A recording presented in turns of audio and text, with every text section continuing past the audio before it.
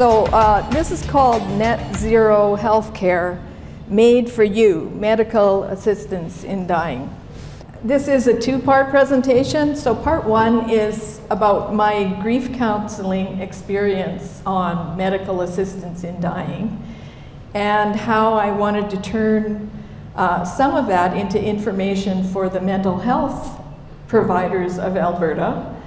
And so I enlisted to do a presentation and I was canceled, if you can believe it. And then part two will go into why I think this is not a COVID lockdown, but I think it's a climate lockdown. And you are the carbon footprint that they're trying to reduce. And net zero healthcare is a thing. And sadly, it means MAID for you. So that might sound quite outrageous. I'm very happy to take any kind of comments after.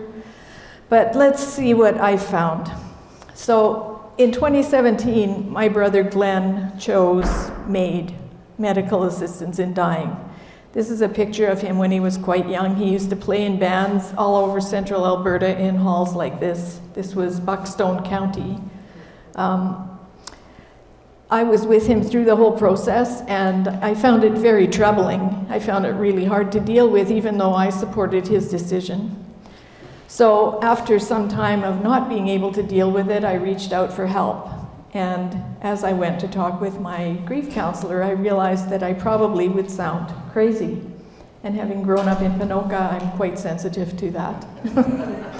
So, because the first thing they said is, So, what do you do for a living? And I said, Well, I, I work with Friends of Science Society. And they're like, Oh, well, what's that about? And I said, Well, we hold a dissenting view on climate change. We don't think that it's a catastrophe, and we don't think humans are causing it. And uh, of course, the room was kind of silent for a moment. And then, to my good fortune, she said to me, Oh, Yes, well, I know Professor Ross McKitrick. And I was like, because he actually holds a dissenting view, and she knows that there's a scientifically valid opposing view. And then she said, What else are you interested in? And I said, Well, I'm really interested in the tar sands campaign. And the room was very silent, because at that time it was considered to be a total conspiracy theory. So, uh, fortunately, um, she was a very helpful person, and I started moving along in my grief management. But I realized, wow, if I, who uh, know quite a bit about the tar sands campaign, am treated like this by a, psycho- by a psychologist, what happens to someone who worked in the oil sands, lost their job? Maybe they're a geologist or a geophysicist, and they go to a counselor like this who doesn't know Ross McKitrick.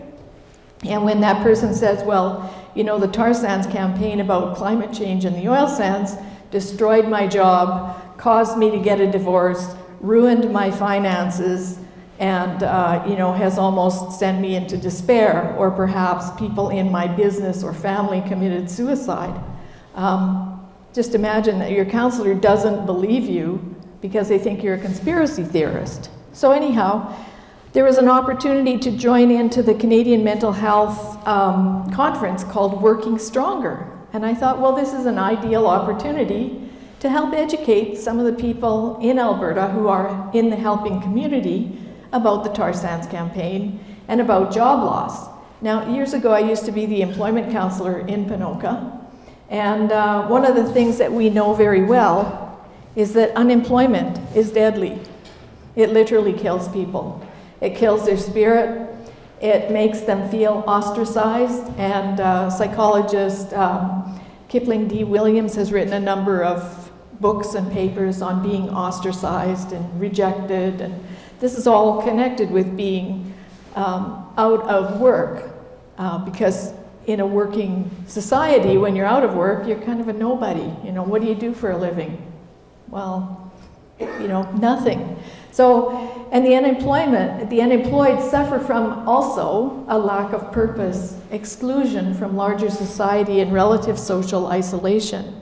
And this is from a study that Marie Jahoda did in the 1930s in a community in Austria called uh, Marienthal, where the entire town was put out of work overnight when they shut down the local industry. So we've known this for a long, long time. And you can notice that many of these characteristics match very well with lockdown.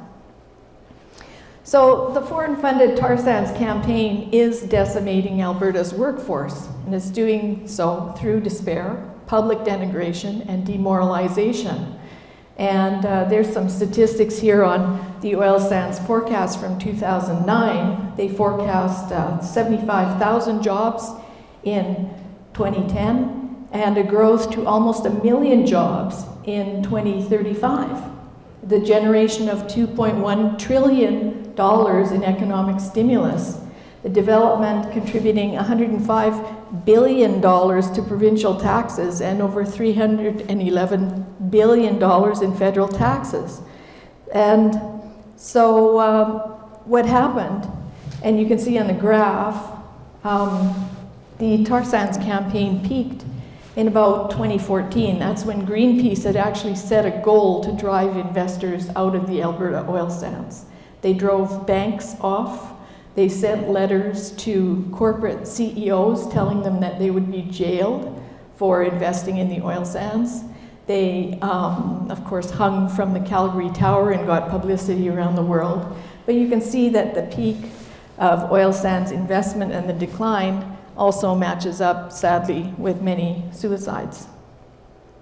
And uh, the things I'm showing you right now are parts of my presentation that was canceled by the CMHA. So, uh, you know, it's very disconcerting for people who work in the oil and gas industry who know that this is a product that's in demand worldwide. This is a product, as we've seen in the past few cold days, we could not survive without it. Um, so to have people say, well, no, no, we're going to get rid of oil and gas, we're all going to run on wind and solar, and you guys are going to have to get another job somewhere. You know, it's very disconcerting to be told that when you know the facts are not so. And in fact, Canada is one of the top 10 um, oil producers in the world. None of these other countries are going to stop producing oil. That's ridiculous. So it's obviously a green trade war against Canada. And here's one of the guys behind it. This guy is named Michael Marx from Corporate Ethics out of the States.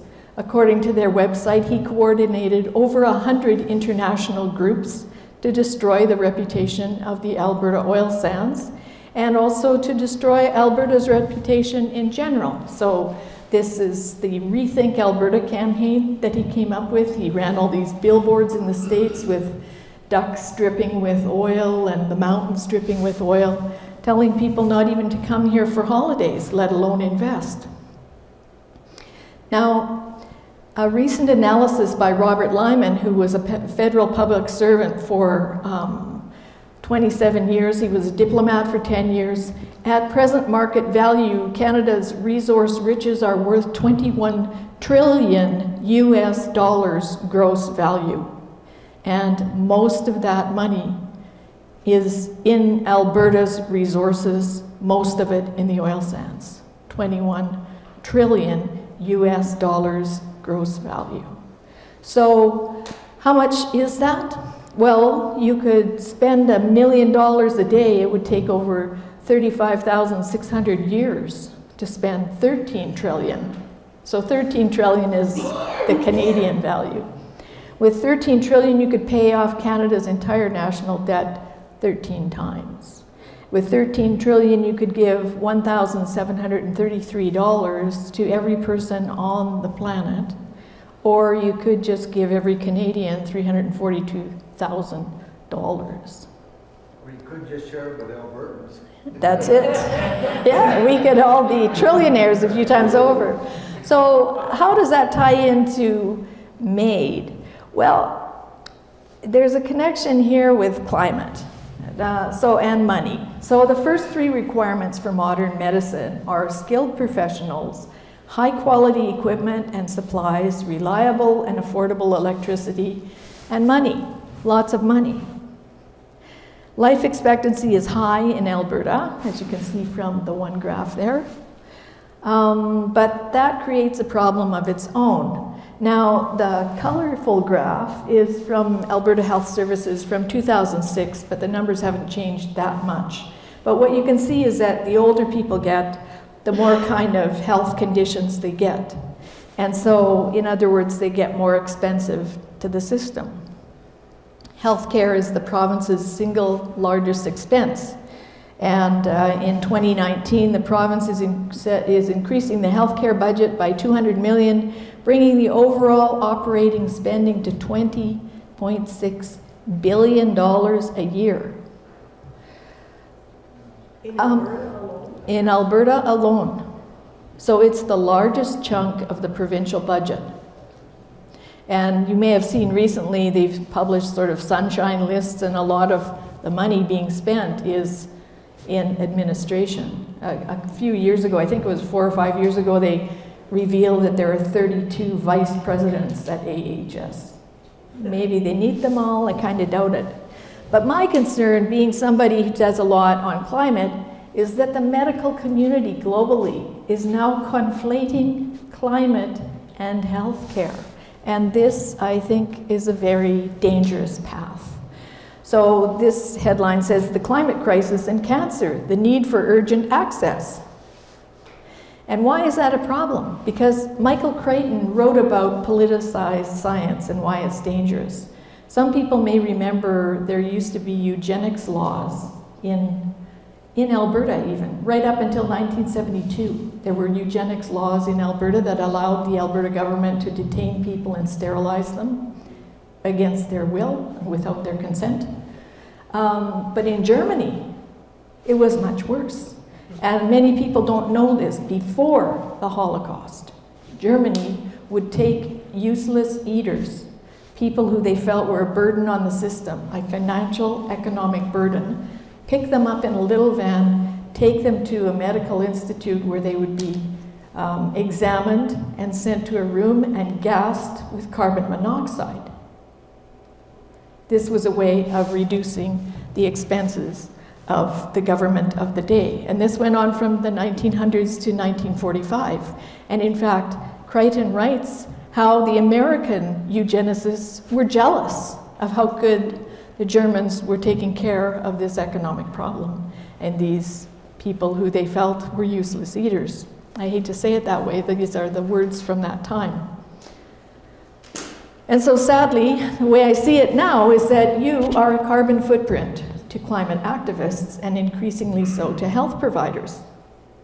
In September of 2019, the exponential roadmap was issued by some influential climate activists, and they wanted to cut emissions in half by 2030, which is virtually impossible to do.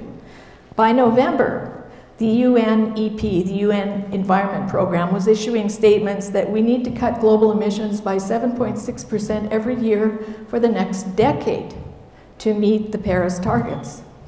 And then you can see this other item, healthcare's response to climate change, a carbon footprint assessment of the NHS in England. Now, it's important to recognize that as part of the climate change movement, there is a deeply embedded depopulation theme. And at Davos in 2020, Jane Goodall, you know, the uh, gorilla in the mist lady, she said that all these environmental things we talk about wouldn't be a problem if there was just the size of population that there was 500 years ago. The world population then was estimated between 420 and 540 million. So that's 6.7 billion fewer people than today. And in 2018, we at Friends of Science noted that, wow, the Lancet was publishing an article about climate change and how governments should be setting a price on carbon, investing in renewables, and all these ridiculous things. I mean, why would a health uh, Lancet publication is that big healthcare publication in the world. Why would that community be advocating for wind and solar? You can't do heart surgery on wind and solar because it's a variable electricity. It could drop off right in the middle of surgery. Like, these are crazy ideas. And, you know, what about improving sanitation in poor countries around the world? So I did this video for Friends of Science. You can see it, it's online. And then recently I saw a webinar where a woman named Jodi Sherman, who's with Yale um, University in the States and public health sector, uh, she and her colleagues wrote this Net Zero Healthcare, a call for clinician action. In this document, she says healthcare contributes 5% of the world's GHG emissions, and she thinks that can easily be cut in half by 2030 because of our response to COVID, because we were so capable and so able to pivot in response to COVID, it should be easy to cut healthcare emissions. Well, you know, healthcare is filled with all kinds of emissions. There's plastics, there's the energy that runs all the pumps in the building. You got to have negative airflow out of the surgical wards, all the lighting in surgery, all the high-tech equipment. Like, this is not something that you go, well, let's just unplug the heart pump because uh, we'll keep the, uh, the rest of the operation going. You, you can't pick and choose that way. So the other thing that's happened, as we discussed with uh, Colonel Redmond, is that lockdowns and isolation increase depression. And what happened in the fall of 2020 is that facing another retirement home lockdown, this 90 year old woman chose medical assistance in dying. And her family supported it. She was very healthy, and according to this story, in the first lockdown, she kept quite busy in her little room. She was exercising, doing sit ups from her chair, and stuff like that. But when the second lockdown came around, she just said, No, I'm not doing that again. So she chose medical assistance in dying which up until that time had been very limited to people who were at imminent risk of death and suffering along the way. And in uh, 2020, the public, uh, the, uh, what's it called, the PBO, Par Parliamentary Budget, Budget Office, put out this report showing that the test run on, bill, on uh, medical assistance in dying had saved lots of money for the healthcare system. Like rather than being old and having all those chronic diseases I showed you, well, why not just pop people off and it's just a cost saving. They go on to say in the report, well, we don't mean that as like we should do something like that. But guess what? This is how Canada kills people. They make them lonely, and then they give them MAID. This is in the, the Conservative Woman in uh, the UK. So this is my brother, and he did choose MAID, and I do support his choice. And he granted me permission to talk about this before he died. Um, he was a retired chiropractor, and he started falling down a lot. He started being very stiff in his movements, and we thought maybe he'd had a stroke, maybe Alzheimer's, we didn't know what. But it turned out that he had progressive supranuclear palsy, which is a very aggressive cousin of Parkinson's. And uh, it got to the point where he, who used to be a marathon runner in the top five in British Columbia, could not walk down the street without looking like he was a drunk. Got thrown out of stores because he was walking with this falling gait. He couldn't explain himself because his speech was so slurred, they thought that he was a drunk. His life was humiliating and he wanted out. And the next stage for him would have been a wheelchair and a feeding tube, and he did not want that. But the process of MAID at that time was very difficult to get, unlike what it is now. At that time, Alberta Health Services tried everything they could to help my brother to live and to live the best way that he could. He had detailed medical diagnosis, he had MRIs and PET scans, blood work, excellent care by the neurosurgeons at the Foothills Medical Center. He had weeks of rehab care at the Sheldon Chumir Center in Calgary. He had consultation with social workers, occupational therapists, and psychologists. And he had a thorough review by all the doctors and social workers. They did everything they could to help him live. But I don't think anyone considering MAID from now on will get that kind of consideration. I don't think anyone, like all these people, they kind of stood in the doorway and said, let's make sure about your condition before you cross that irrevocable line. let's make sure no one's pushing you, whether they're accidentally pushing you by saying, gee, you know, it's really hard having you around, or whether they're actually pushing you and say, wouldn't you feel better not being around? Doesn't it hurt all the time? Like there are some people who have very serious conditions, but somehow they find a way to be joyful with what they have and they want to live on. But we have now created a situation where I don't think that that will happen. And now we're broke.